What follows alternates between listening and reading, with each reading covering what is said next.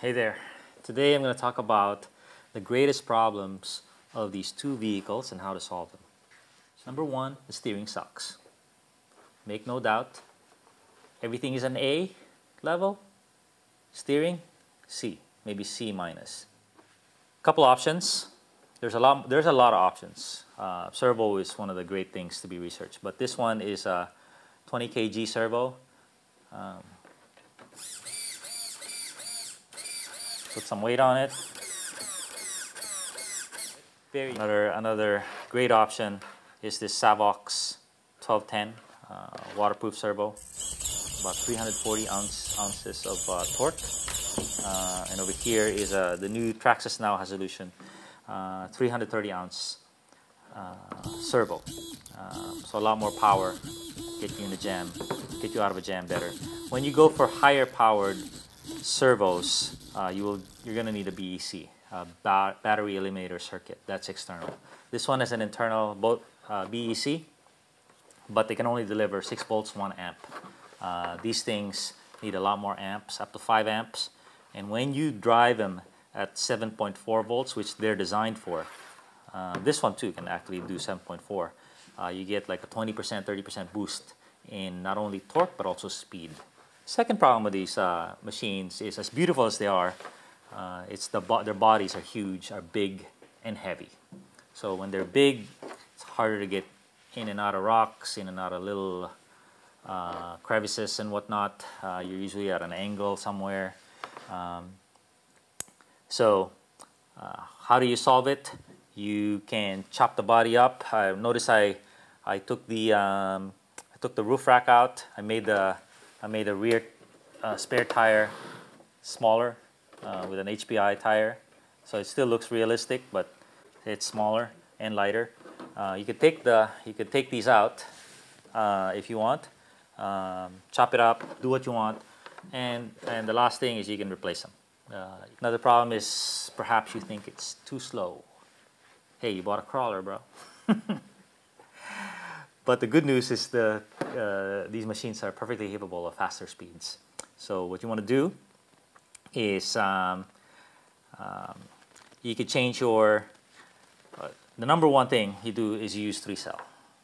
So three cell just means it has three cells inside. So instead of 7.4 volts, the classic 7.4, you're using 11.1 volts. 11.1 um, gives you a 30% boost in speed and power. So instead of your top speed being 8 8 miles an hour will be 11. Pretty darn good. You could change your, your pinion gear to give you more speed. And you could do that because you have a two-speed transmission anyway. You have a low gear and a high gear. Gives you more options. Um, and finally, you could use a brushless system. A brushless system are these new motors that you find in, in scooters and drones that are way more efficient and way more powerful. So there's the uh, Castle Mamba X, which is just an amazing powerhouse. It'll get these things up to 30 miles an hour and maybe more. And these machines can take it. They're, they have bulletproof drivetrains. Uh, just, to, just don't go too, go too crazy. Uh, and there's the uh, what's the Hobbywing Axe system. Not quite as powerful, but uh, get you up there in speed, but has even more control uh, on the low speed. So that's how you get the speed. Up. Another problem you might have is you might say, "Hey, it's too too complicated." Why'd you buy it then? Well, I know you bought it because it's the best, or what you thought was the best at the time. So, why is it complicated? It has five channels steering, uh, motor, transmission, differentials. So, if you think it's too complicated, and here's the key, and you're not using it, then you could eliminate some of the stuff. So, as you can see here, I never use my differentials on this, my pure crawling machine. Uh, part of the complexity of these machines is so you could trail run with them, you could you could jump them, whatnot. But if you never do that, you just want to crawl. All crawlers pretty much today have two channels. You could make this a two-channel system. You could do that by eliminating your your differential servos. You can even eliminate your transmission servo. Um, it's not the end of the world. It'll improve your your uh, what do you call that dependability, reliability, and it'll, it'll improve your performance as well in, in, in pure crawling. In fact, uh, Traxxas made the, their very own stripped down version called the TRX4 Sport, cheaper, 340 bucks, and it's quite a performer. it'll blow away anything in the market today. Uh, another big problem is center gravity. Because great machine, but man, I keep flipping over, I flip over on the side, flip over backwards. Uh, wish my center of gravity was better. So the first thing you could do is change your body. Uh, 850 gram body, kind of high. Um, you could put a 200 gram body. That's going to improve your center of gravity a lot, improve performance quite a bit. Um, you could lower your ride height uh, using your adjustable suspension. Uh, that'll improve your center of gravity. You can um, um, use a smaller battery. Um, so this is a, a, a big battery, 5,000 milliamp. Uh, you can put a, a 2,000 and and you could and you could modify. You could buy another battery tray. So this one has a Bauhaus uh, battery tray. It lowers it as slow as possible. Um, so that improves your center of gravity. Uh, these batteries are cool because uh, they're small, but it's good for about an hour of, of crawling. Uh, because the 11 volts has so much power, you're, you're really just modulating your power. Uh, so get enough runtime with these. And the most important thing for uh, lowering your center of gravity is adding weight at the bottom. So you add unsprung weight is cool. Unsprung meaning it's below the shocks. Um, uh, anything brass uh, in the portals, in the axles, that's all good. Adds weight at the bottom.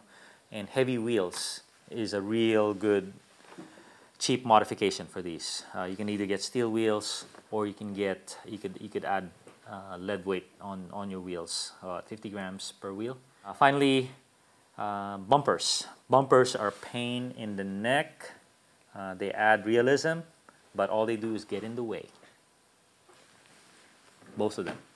Most bumpers, actually. All bumpers in RC crawlers get in the way. They get in the way of the tire. They get in the way of um, your approach. Um, so, what do you do? I had a I had a nice bumper here. You cut them. If they're not in the way of the tire, the tire can approach the rock and get over it. Uh, so this is the stock bumper. I just cut it. Uh, you dump them. Notice this thing has no bumpers. Running it this way runs awesome. Um, or you buy a new one. You buy something. You notice real world rock crawlers have these minimalist two bumpers uh, that are very low profile, close to the body, uh, out of the way. Uh, those are the ones that are ideal. Uh, not as realistic as these chrome edgy ones, but they're a lot more functional. So Wurty made, uh, Knight, Com Knight Composites, Knight Customs uh, has bumpers like these, um, and they really will add to your experience. It's like it's like programming a clock radio or VCR. You know, you just rely on beeps to know where you are in the process. Beeps and I think lights. When you research it, it has a lot of capability. Amazing. The one capability you want um, is right here. So throttle sensitivity, steering sensitivity, steering, so steering percentage, so I, I, I move that It's moving pretty good.